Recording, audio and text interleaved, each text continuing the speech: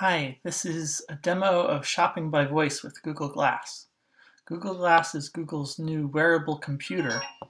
You wear it on your head and you can always reference breaking information on the little display up there by looking up. So I'm going to put the glass on now, but you can see anything I'm seeing on the glass over here in this screen.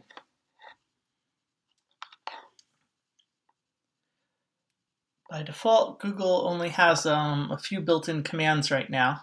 OK Glass, and you can see them here. But application developers can add to the functionality of the device, much like a, a smartphone. In this case, I've written an app called voice-buyer.appspot.com. And this is the app that adds a, a shop for command.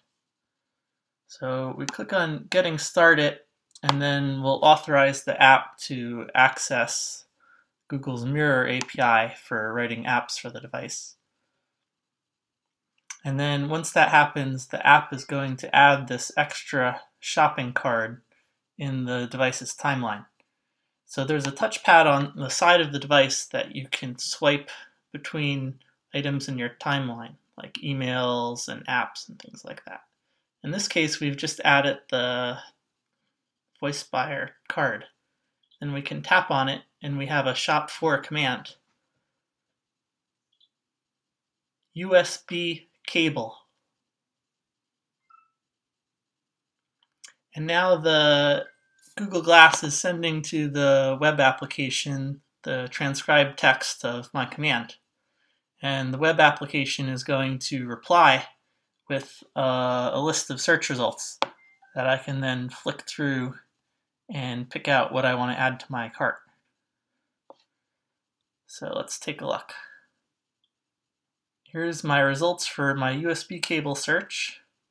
And you can see I have a, $6 six foot one.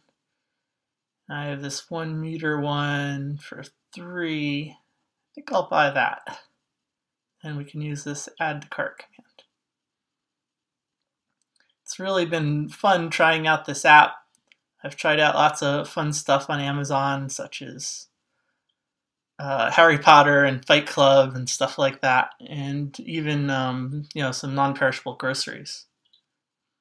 You can also pin the app, and once you pin it, it'll always be one swipe away from your OK Glass menu. There we go. Right now, there isn't uh, an API for immediate checkout. Amazon has one-click purchasing with default information on their website, but it's not exposed by an API, only by buttons and things like that.